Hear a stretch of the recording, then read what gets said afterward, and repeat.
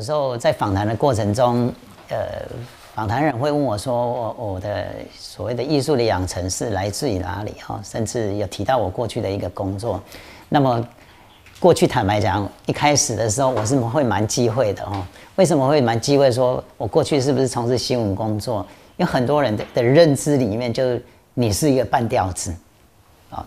不过这一段，自从这么多年以来之后，呃，自己有有有一点的小小的成就之后，那所谓的过去哦，人没有所谓的没有过去了哦，所以这一点我就会蛮开阔的跟大家来聊起啊。那至于谈到说我的艺术的一个养成哦，我从小是住在我所谓的无期啊，啊，无期当然就是以海风为伍嘛啊，海风为伍当然就离不开所谓的泥巴之类泥沙啦哦这一些东西。坦白讲，我一直强调说，我的艺术养成有一半一半的以上的一个是来自于我从小的一个天赋。我从小就一直到我记得到国中还有国小，我所谓的在班上从事所谓的学艺鼓掌，从来没有中断过。那学艺鼓掌大家都知道，一定是画海报啊之类的啦。哦，那一直到国中。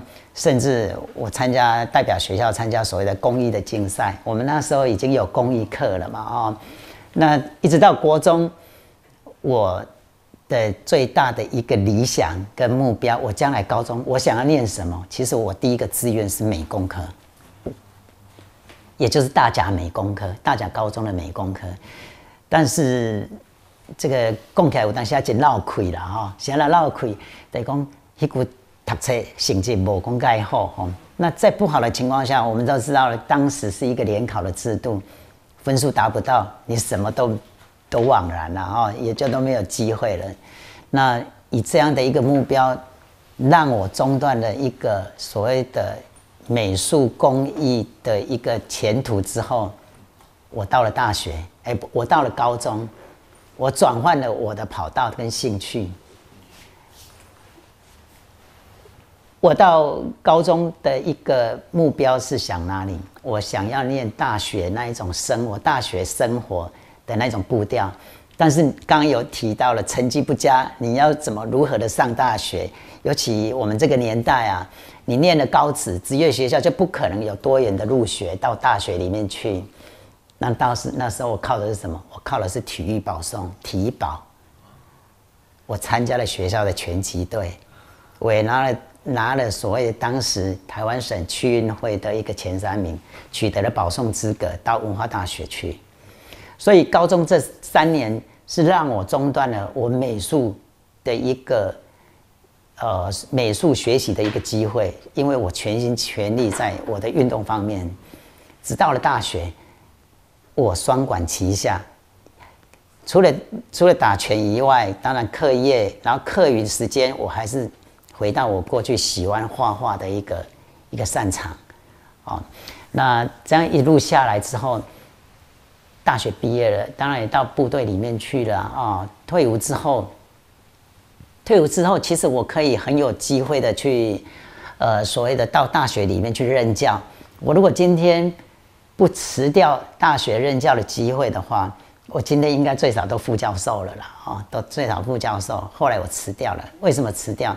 除了觉得说离乡背景，那时候年轻不太会想啊，然后离要离开要到南部去任教，离乡背景以外，我觉得我还是觉得应该是说还没等您啊，还没断哪年的那一种想法啊。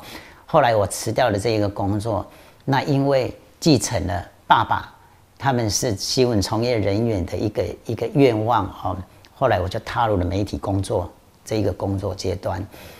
呃，我本身的学习的一个过程，我是比较一个有理想、有目标的一个人。我从小就有这样的一个有这样的一个志向，然后很有目标在走。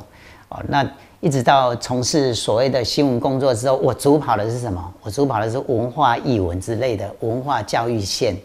我从事文教线应该有十几年的一个一个经历哦。那这一个文教线里面，当然就访谈了很多的艺术家，各类的艺术家哦。你大概以资深的一个艺术家来讲，以台中地区中部地区资深艺术家来讲，应该我都都跟他们都有接触了啊。也因为这样的机会，让我觉得，我如果能够再重回到我过去从小的重拾我过去的一个喜好的话，我觉得那人生真的是一大的收获了哈。所以在这一段的过程中，我一开始是去从事石雕的工作。那石雕的工作对我来讲，我觉得场域来讲是一个不是你轻易可以从事的粉尘之类的东西，它都是成为一种很大的负担。那后来我认为说，我如果去仿所谓的枯木枯竹，从这样开始入门的话，我去捡一些树树头回来。枯竹回来，那这样去模仿它的话，我从这样开始入门，加上也认识了一些陶艺家。那在过当初一开始的过程，当然就是呃拜托他们帮我窑烧啦。从这样慢慢开始，那我就觉得说我在一个客厅里面，我就可以从事的一个工作，我开始建立了我未来的一个目标。在新闻工作的这一段期间，我开始奠定了我参加国内外。美展公益竞赛的一个成绩，奠定了我未来的一个踏板。哦，果不其然啦，哦，呃，报社整个在民国九十五年的时候，就整个优惠之前，整个优惠之前，然后再回聘为特约。当时我就决定毅然决然的出来自己找土地盖工作室。哦，那一方面不要说。我从事陶艺一定可以赚到很多钱，会有什么收入？不是这样的一个想法，至少会过着田园的生活，是我跟我太太两个人的一个目标了哈。我我个人，我是一个非常有责任感的一个人哦。我既然接了一个工作，我就不可能去呃把它放着丢着，而把它糟蹋了哈。所谓糟蹋了是什么意思？我的今天如果兼了这一个新闻的工作的话。我一定要付出，我以我的责任来讲，我就要付出一一些的时间在新闻工作这一方面。当然，我就没有办法兼顾到我的陶艺，所以我就把它毅然的把它辞掉了。嗯，所以我的艺术养成可以说是除了我个人的天赋以外，然后天赋以外，这些我身边这一些陶艺家、艺术家、各类的艺术家来讲，我认为他们都是我的老师啊。因为在访谈的过程中，我吸取了各门各派的一个记忆啊，哦，然后自己再从中的去做自己的研究。呃，刚我们提到说，呃，在从事新闻工作这一段期间，那么怎么去所谓的去接触到陶艺啊？那陶艺，即便自己所谓的自我学习之后啊，你总是要窑烧的部分嘛，这是一个难题。那当然就是说结识了一些所谓的陶艺家，然后请他们帮我窑烧啊。那么我我觉得我人人生中从事陶艺这个过程哦，我觉得我一直惦记的三个人啊。到第一个我所谓的现在也是两岸蛮红的一个叫李仁美了啊，李仁美老师，一个叫啊谢志成，哦谢志成，他是在大渡哈。那一个叫陈文斌了哈，这三个哈。那我们先提到李仁美这一个老师啊，其实我我我认识的这三个老师，在当时都还算默默无闻的哈。当然，这已经都是在二十年前的事了啊。甚至他们，甚至其中有一有有少数人啊，甚至有有一点潦倒啊，哦。但是他们现在都做的蛮好的啊，这一路坚持下来都还蛮成功的哈。那第一个李仁美老师，我就会托他窑烧。那谢志成老师，呃，当然在技术上面也会呃有困难，也会请请教他。那陈斌老师是在我当时还没有工作室的时候，那我一假日的时候都往那里跑，因为他的工作室就在我老家的。附近而已，所以就会一休假我就往他的工作室去跑，有时候就是借助他的工作室，然后，然后这样亦师亦友的这样一路走下来。这三个老师，我是觉得我我是比较，我算是我的我的蛮感恩的三位老师然后，那一路这样走下来之后，呃，报社告了一段落，当然我就跟我的太太来到了大肚山的制高点，我也就瑶谷这个地方。那提到瑶谷这个地方，也就二零。一零年，我建立了我的工作室窑谷。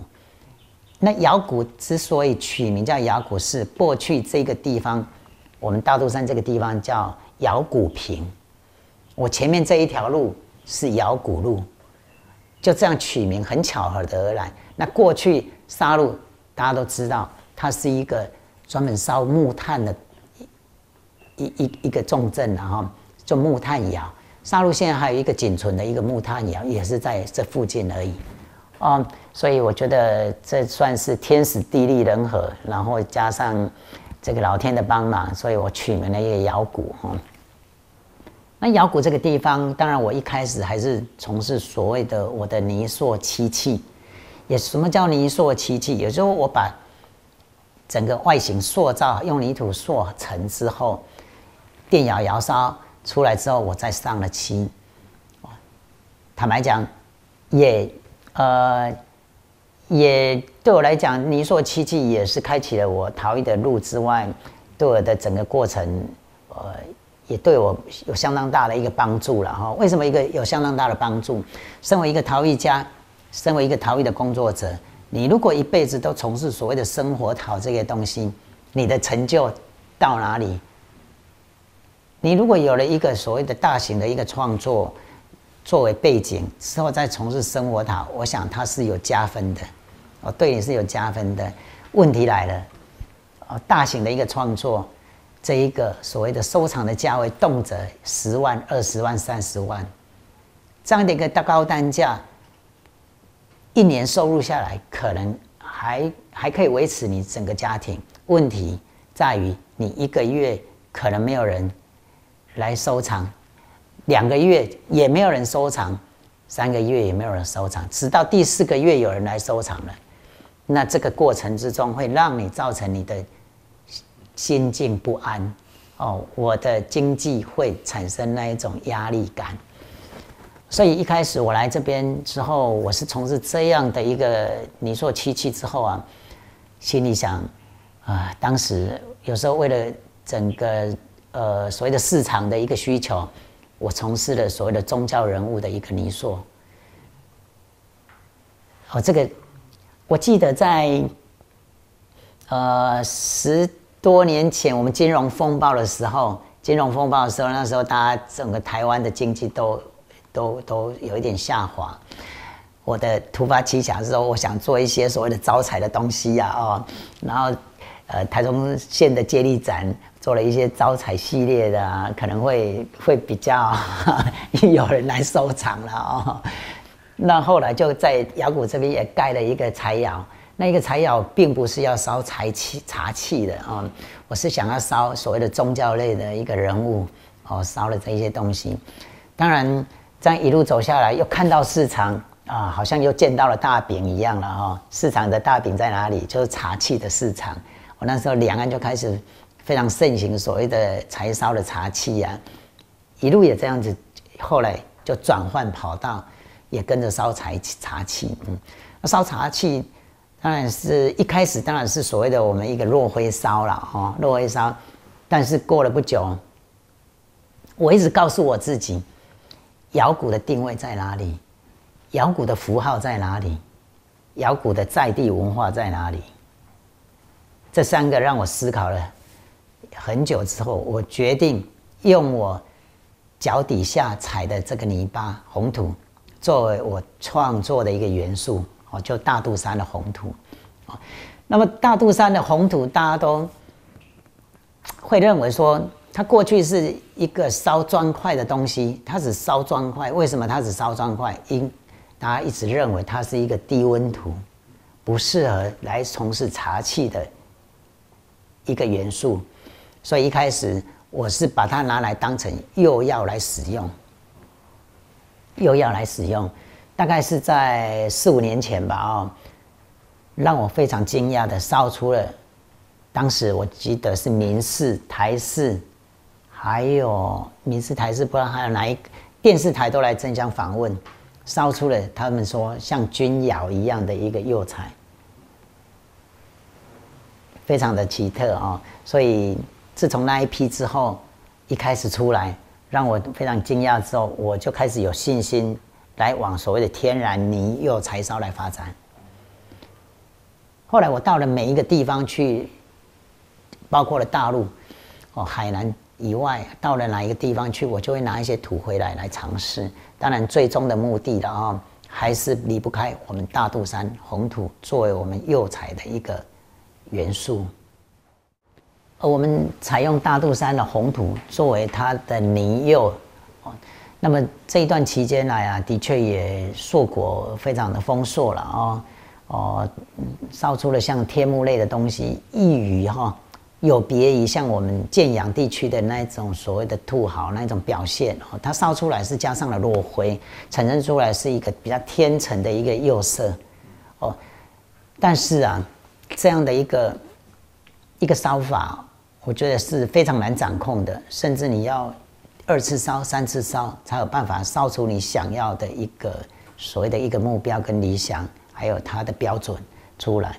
那这样的情况之下，我觉得失败率太高了，也不是我们想乐见的。哦，失败率高，非常不是我们想乐见。失败率所谓的失败率在哪里，并不是说它的釉彩美不美的问题，而是它的留釉的问题。哦，它留又粘黏呐，让你必须要去切啦、割啦，这个对收藏者来讲，他就是认为一个瑕疵品。哦，在这样的一个情况下，发展了大概几年之后，我又有一个想法了哈，因为我这个人就是说不安于世哈，所以不安于世，大家大家都会认为说，一个作家必须要有他的识别度的问题。哦，识别度当然是很好，但我的个性哦，从我你看我从我的这一些职业职业这样一路走来，好像转换的蛮嗯嗯，转换了三个了啊。呃，我不安于世以外，我不想做同样一件事情，也是我的个性啊。所以后来我又把所谓的大肚上的红土，把它转换为所谓的胎来使用。那这个又又牵扯到我们刚刚讲的，大家都认为它只是一个低温土，只适合烧砖块，当然就没有办法去从去作为我们胎体的一个元素了哦。但我我的个性哦，我一向我一向告诉我自己哦，我没有亲自经历的失败，我不算失败，我不承认它是一定不可行，这是我我的坚持哦。一定要亲自经过，我自己觉得，呃，真的是大大告失败之后，我才可我才会承认的哦，甚至跟他道歉啊，甚至跟他道歉啊。那我有一个想法哦，那时候大家认为说它是不耐高温的，但是我经过这个红土啊，哦，我们国立台湾工艺研究发展中心英歌馆的一个材质的一个检测出来之后。我发现它里面的石英含百分之七十以外，它还有一个它里面的氧化铝含百分之十五。那么氧化铝是一个非常高温的一个一一个所谓的氧化物，非常高温，它大概是甚至到一两千度，可以熔点到一两千度，哦，它的氧化铝非常高。那在这样的情况下，我也试过它的窑温去烧，诶，也没有问题呀。那最大的问题在哪里？在它的呃细砂石英的含量特别粗，含量高以外又粗。那这样的一个状况之下，它的毛细孔烧出来一定大嘛？大之后一定会渗水，或许渗水会造成他们说所谓的低温土的一个一个误认了哦，一个误判呐，哦，一个误判。所以。那时候也开始突发奇想，我把石英细砂把它粉碎的更细，更细啊！但是在材料学的老师里面认为说，这个好像无关提升它的耐火温度，无关提升耐火温度。但是我想对它的阻隔毛细孔应该有帮助才对了，哦，应该有帮助才对哦。果不其然，经过电窑去。测试它的温度可以烧到我烧到一二四零之后啊，没有垮，表示它是可以耐得了这样的一个温层的。问题来了，哦，一出窑，水放进去，整个都潮湿掉了，整把壶都潮湿掉了，表示它还是会生漏，哦，还是会生漏。但是我又开始又激起说，那如果我经过柴窑之后，是不是可以改善这样的一个方向了啊？可以改善。第一个，它有落灰，哦落灰。第二个，它的窑烧时间比电窑，因为电窑是一个测试而已，我们不需要拉长时间哦。那么柴窑，我们必须要达到一个目标，必须要可能三十个小时、四十个小时，在这样长时间哦，把里面的一些氧化物，呃，整个结构把它烧得更溶解的话，是不是可以填满这一些毛细孔？那么当然，这样的一个想法印证了。它是成功，我的想法是成功的。出来之后，确实它没有这样的问题了，没有渗漏的问题了。啊，大肚山的红土哈，第一个我做成泥釉，那第二第二个我已经突破了它的胎体的一个实用性哦，也已经算是成功了啊。那我们刚刚讲的不喜欢从事同样一件事的我哦，第三个要突破哪一个方向哦？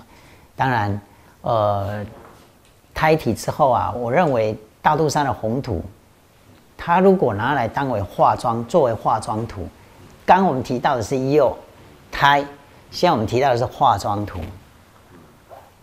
在一次偶然的机会里面，我柴烧的机会里面，偶然非常偶然，发现了一个让我非常惊奇的一个发现啊，烧出来东西像一个铁器一般的一个机灵。从此我开始开始研究这样的一个铁器的一个表现。现在，所以我现在第三个方向，我把所谓的大肚山的红土，我们应该说是化妆土，而不是釉了哈。因为釉的话，你就必须要加入了所谓的石英纸的东西在里面。现在这个化妆土，它是没有加任何的东西的哦。那么把它做成一个铁器锈蚀的一个感觉，锈蚀。还有一个斑驳的一个一个一个一个所谓的，在我的茶器里面，这第这大概这三年来，我把它取名叫铁定系列，铁定系列啊。那么铁定系列烧出来的一个，你听到系列就知道它有好几个款哈，好几个表现面相是不一样的哦。铁定系列，那直到所谓的接到了呃国立。彰化生活美学馆的一个邀请展的一个通知之后，我又开始脑筋又开始开始打转了哈，在一个所谓的躺大的一个展览空间里面呢，我总不能是展所谓的茶器这么渺小的一个东西啊，在一个大海里面，我总不能哈只看到人家那一些所谓的小虾小虾米啊哦。我当然要大白鲨哦，才能衬托整个大海的一个壮观性哦。所以，我开始把大都山的红土运用在所谓的现代陶的一个表现哦。那，对啊，这样的一些想法，我第一个是想到明年是牛年了哈，牛年。所以，呃，除了我们台湾的传统牛之外的造型之外啊，我也会加入了一些犀牛哦，犀牛的一个造型。那犀牛的造型是最容易让我表现所谓的铁甲武士的那一种感觉的，哦，铁甲武士的感觉，哦，犀牛的整个犀牛皮啊，它的肌理啊，哦，是最最容易让我表现出它的质感哦出来的，所以我会把它做成一些锈斑的感觉，哦，甚至有一种像一种呃比较铜器的一个。一个面相哦，当然，大肚山红土它烧出来不是黑就是红。如果只有这样的一个表现，在展场里面，它的所谓的精彩度当然也没有那么高哈。毕竟人都喜欢看到还是有一点颜色的，会比较活泼一点。所以我还是加入了一些所谓的其他的化妆图，哦，然后再运用我们漆的一个表现啊，把它做成像一个古铜色的一个。一个一这样的一个面相出来哦，这一次在国立彰化生活美学馆的一个展览哈，算是我这一生中呃所有展览里面是一个规模最大的，而且第一次受到邀请，我非常的重视哈，而且重视的程度应该是史无前例了哈，这非常感谢。呃，我们馆方的一个给我一个机会了哈。那这一次的主题我们叫“红土秀然大气”。那其中我们谈到红土，就跟锈有关哦。我们铁锈啦，哦，铁锈的锈啊，宏图秀然大气啊！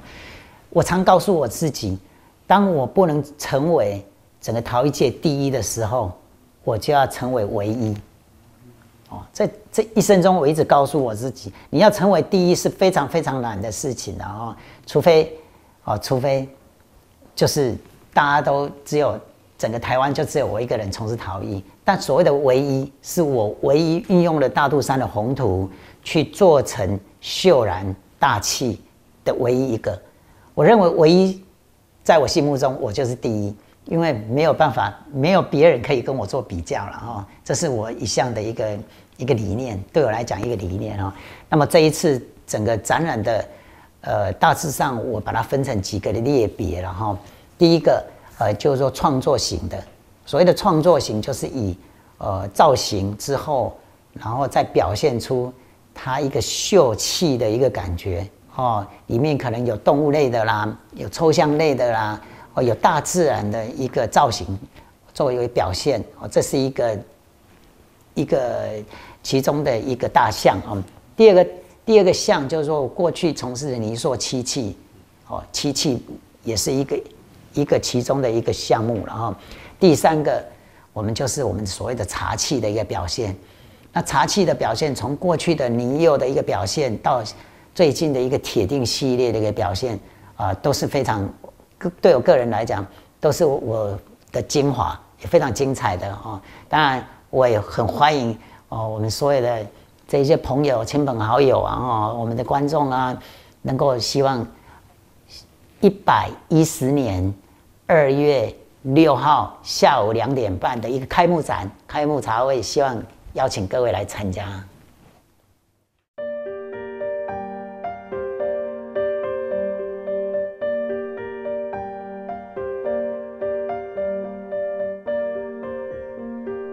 明年正好又是一个牛年了哈，牛年行大运，那当然就不外乎一些应景的作品哦。这些应景的作品啊，其中有一项是所谓的犀牛哦，有几件是犀牛，所以我们取名叫《西游记》啊，《西游记》他们一个嬉戏啊，西西记的一一个意思啊，谐音。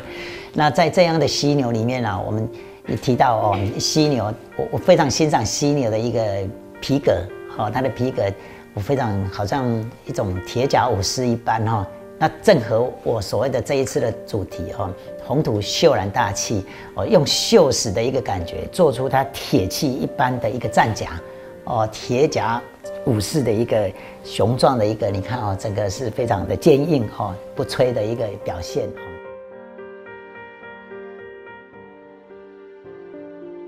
这一次展览哈，这一件也是我非常经典的一个作品了哈。它的主题，它的取名叫“秀然大气”，好像是这一次的一个展题的一个主角哈。呃，你看哈，我我觉得在创作里面哈，这这样几一二十年下来，我好像还没有看过人家看做所谓的破铜烂铁哈为作品的啊。那这一次，呃，我却把它把这一些所谓的回收厂的一个废弃物啊。废铸金属啊，把它拿来成为这一次展览的一个作品哦。你看它的一个锈蚀的表面然后还有它的肌理然后这一些呃斑驳的这一些锈斑然后全部都要把它表现出来。那如果你光只是做成一个锈的一个色彩之外，我觉得它的活泼性还不足哈，所以做了一些所谓的落差，这种尴尬哈。剥落一些漆面的一个剥落之后的一个表现，还是隐约，还是有一些所谓的漆的呃色面在上面的一个表现哦。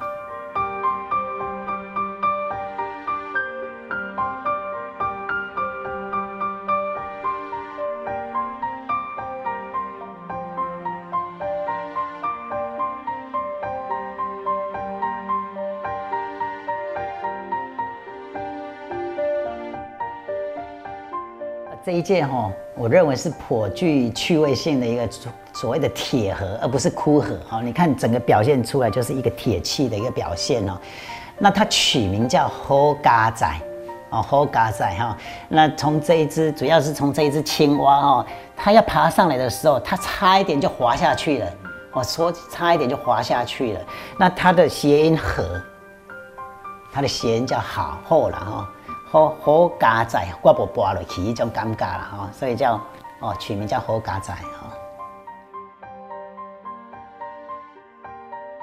在作品里面啊，我们的命名啊，总是要取一些所谓的吉祥话了哦。你如果今天取名叫所谓的破顶，我我我想大家听了总是觉得 不是很吉祥哦，破顶。所以这一件取名叫问鼎哦，问鼎冠军啊，问鼎什么啦哦之类的哦，叫问鼎。那我的在我的创作里面，它的问鼎代表的是什么？他过去煮了一手所谓的好的一个料理。哦，所以呃，在经过历史岁月的一个摧残之下，你还记得过去我们这些流水席的呃他们的一个整个过程吗？那就是要问鼎。在这一次的展品里面啊，有一些主题啊，我都取名呃所谓的一些台算是台湾的谚语之类的东西了哈。这家哈，咱叫做弯弯弯弯的哈，弯弯弯弯哈，人生路。总有所谓的坎坎坷坷、甲弯弯弯弯一种感觉哦。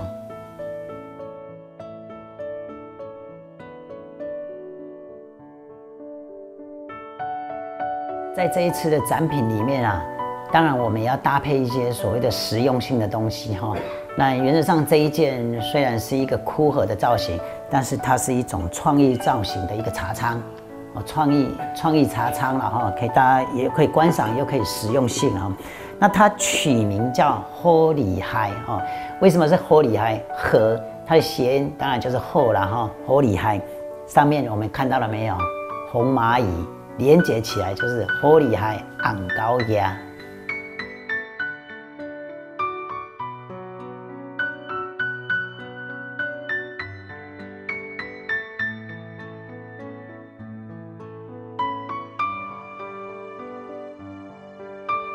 在展览的时候，这个观众最大的一个好奇，他一定会问你说：“老师，你为什么要做四支而不是五支，而不是三支？”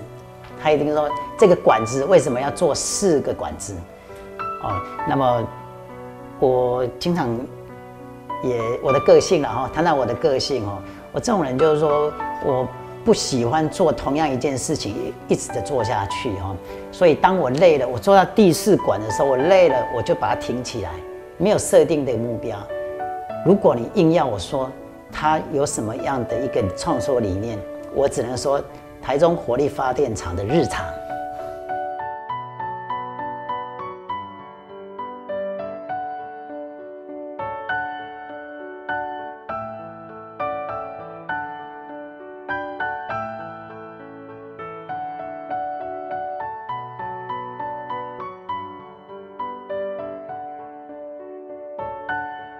这件作品，它取名叫长韵哦。为什么叫长韵哈？因为它还是一个所谓的创意茶仓的一个功能哦，让人家茶放在里面呢，能产生所谓的一个韵，然后这样一个转换哦。那它另外一个大家看到了，它就是一个年轮，一个树段。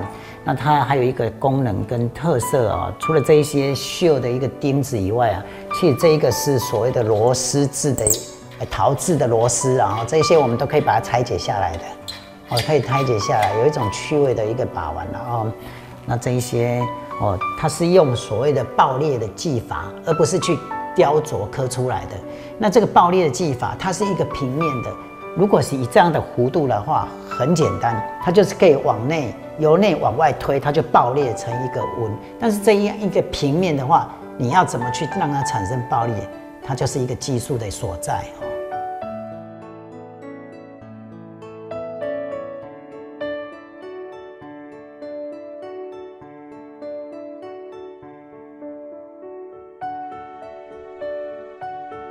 这一件取名叫木马老爹哈，它是由我们木马，当然这边有一个形态是一个老爹的脸谱在上面，有眼睛，有鼻子哈，有鼻环，那这个是法式，那这是耳朵，又是踏板哈。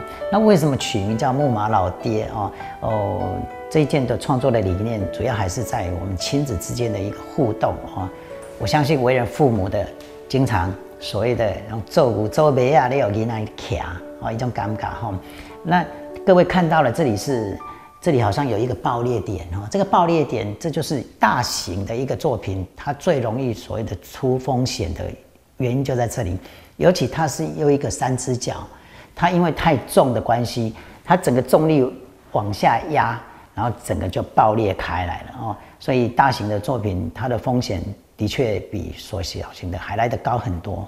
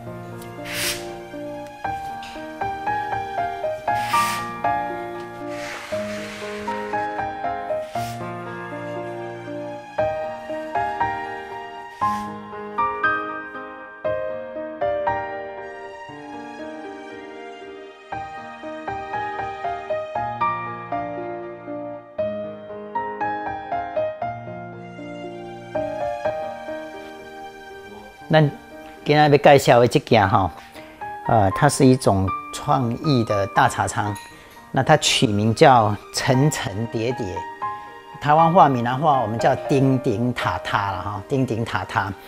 呃，我相信咱每一个人的心情拢有当时爱叮叮塔塔哈。那到最后，我是希望表现在禅定方面的哦，禅定来取代我们心情的一个一个复杂。我的一个复杂性哦，它原则上它是茶仓哦。那我们现在用的技法，现在是一个所谓的手挤胚的技法。那以手挤胚大概也是传自我们的呃泉州哦福州了哈，福州泉州那一方面的老师傅过来咱台湾的哈，因叫做倒退撸了哈。哦，台湾话又倒退撸哈。我们在在盘的时候是一种倒退走的哦。那我们现在来示范一下哈。因为它的干湿比不一样哈，比如说昨天放着，跟它今天的干湿比不一样。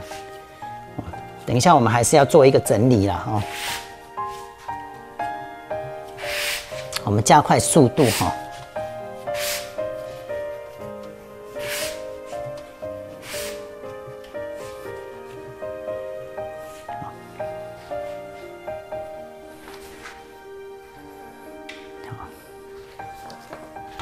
那我们现在大概把它的接缝的地方稍做整，再做整理一下哦。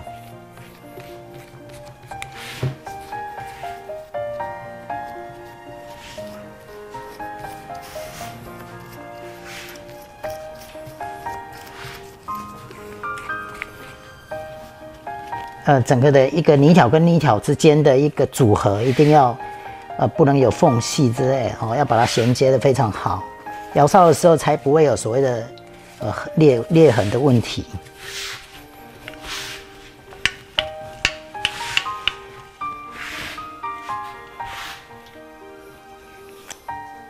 我们目前做个是一个倒立的方式，到时候做好我们必须要翻起来，成为一件啊大型的作品。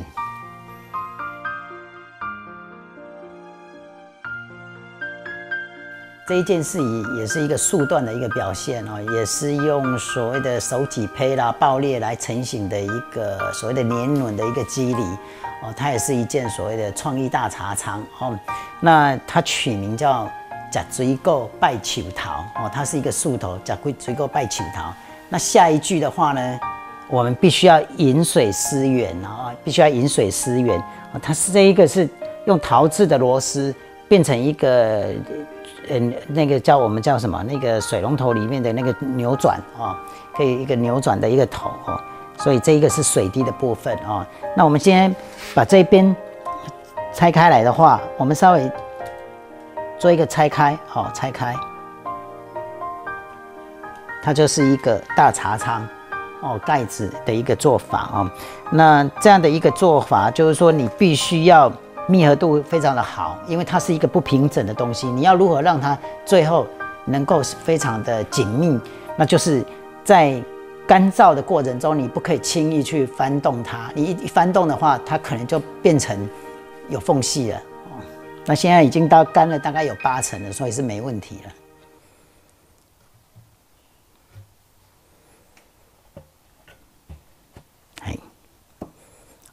做好的时候，我们两边去按压，不能有停空调，一种尴尬了哦。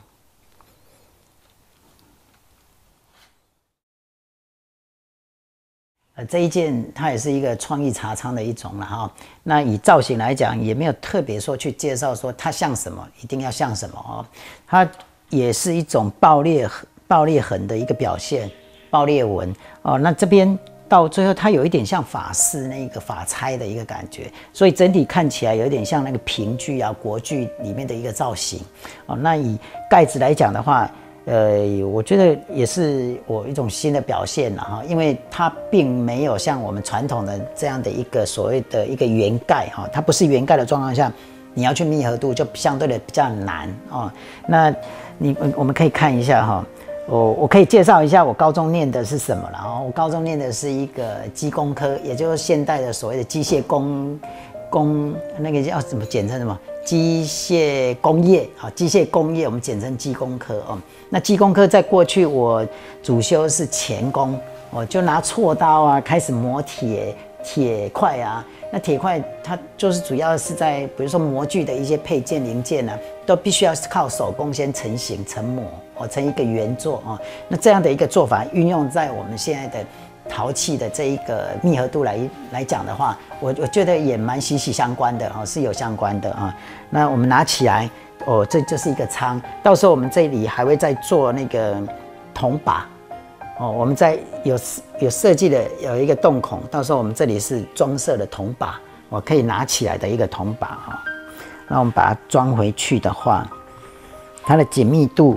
哦，你看，它它是不会所谓的摇晃的哦。我们去按压，它是一个密合的哦，不会摇晃。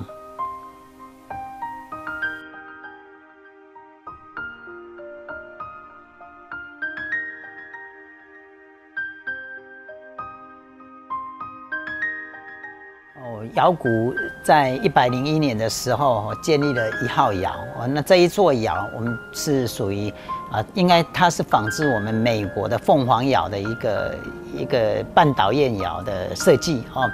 我们投材是从这一面才投进去，然后它火是往后走，然后绕了半圈，再从前面的烟囱出去啊。也就是说，它跟我们传统血窑、横焰窑是不太一样的地方是，它分成两层。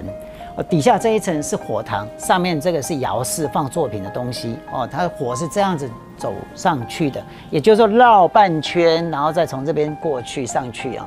那我们的投材方式也跟传统的这一个投材方式不太一样哦。不不一样的地方，它的优点是在哪里？它的优点是在环保跟省材哦。环保跟省材，传统的投材方式，它是拿了一把的柴往里面一丢一塞。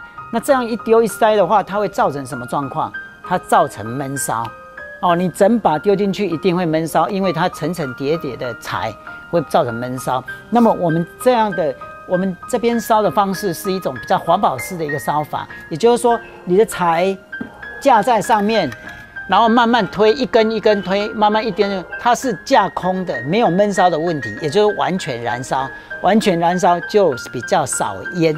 哦，比较比较少烟。那至于还有一种方式，它可以更为环保。哦，什么样的环保？它甚至可以比现在的这个更少烟。什么？为什么？因为我们当我们推踩的时候，窑火一定会往上窜。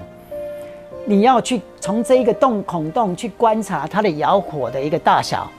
窑火越大的话，表示这时候它的冒烟程度是相当大的。所以我们的扔柴就不能太急。哦，相对的，我们要慢慢的扔，看这里变成一个文火上升，变成一个文火的话，那才是一个最好的一个升温方式。而且，当你大火的时候，相对它的温度是下降的，不是往上升。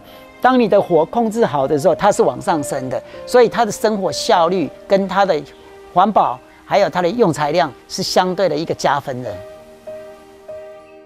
国立彰化生活美学馆个人的一个展览哦，呃，在一百一十年的二月四号到三月七号哦，欢迎大家来看我的一个作品哦，欣赏我的作品，指导我的作品。那今天讲了这样林林总总的一个整个过程啊，从我的洗陶的养成啊，从我作品的特色，还有甚至我的技法，到最后我的窑具各方面的一个一个设计哈。呃，个人一直还是在强调一个一个哦，再强调一个一定要有个人的特色哦。